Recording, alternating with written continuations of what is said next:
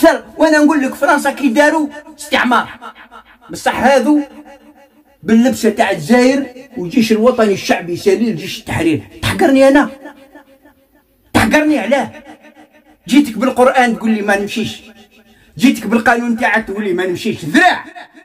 ذراع يعني أنتم ما عندكم ذراع. وتحرشوا علينا ولاد الناس. ولا والأمن يتضارب مع الشعب. خاطش أمر تاع جنرال فلاني جنرال واحد. ولا زوج ولا ثلاثة. أربعة ولا ثلاثة تخرجوا ولاد الناس باش يجابوا الشعب الجزائري. وأنتم قاعدين في البيروات نتاعكم. ما تحشموش. اخرج انت. شنقريحة قدوة لك الدرع. اخرج انت في البداية. تخرج ولاد الشعب الجزائري. الجيش بذاته عنده مشاكل. وما حليتوهالوش والأمن أيضا ما حليتوهالوش والدارك ما حليتوهالوش والقضاء ما حليتوش المشاكل نتاعو والمحامين والقضاة والوكلاء الجمهورية وأنا نعرف المشاكل تاع هذا الناس ولات الناس كلها تخاف اللي يجي يقول لك يا خويا الخبزة عندي ذراري عندي المرأة إمام إمام إمام في الجامعة تقول له يا ودي قول احكي يقول لك صح واش راك تقول؟ بصح يقول لك ينحوني من الإمامة الإمامة رسالة.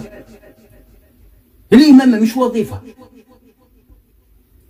قل الحق من ربكم. إحنا ماذا بنا هذه الجزائر تولي جزائر قوية بشعبها مش بجيشها. الشعب هو الجيش. قوية بشعبها. قوية باقتصادها بسياساتها بعدلها بأخلاقها بأدابها بحضارتها بتاريخها بأمجادها. هذه الدولة القوية. وعندنا كل الإمكانيات. باش تكون الجزائر هي أقوى في إفريقيا. ديرها البلاد قبل يا أبو قادوم. ديرها البلاد قبل. أبدا البلاد قال صح نفتحوا صفحة جديدة. وعفى الله عما سلف. ونعطي كل ذي حق حقه. والجزائر كبيرة وواسعة وعريضة. وخلي الشباب يخدموا وخلي الأمة تتنور بإذن الله. وكل واحد يعطيه حقه. ونعاودوا نبنيو الجزائر هذه من جديد؟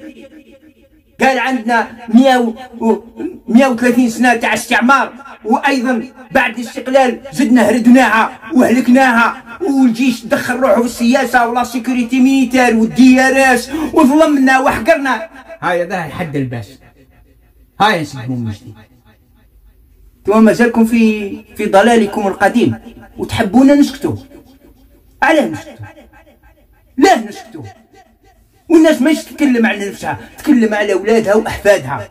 أحفادنا مستقبل تاعهم واش ماذا سيكون؟ هذه مش انتخابات.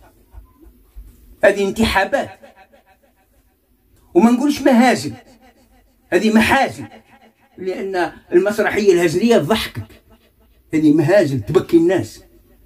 بعد يقول لك أنا شخصية سياسية. واش من شخصية سياسية؟ صحابك اللي اللي ضدك في الرأي؟ ما فتحت لهمش المجال.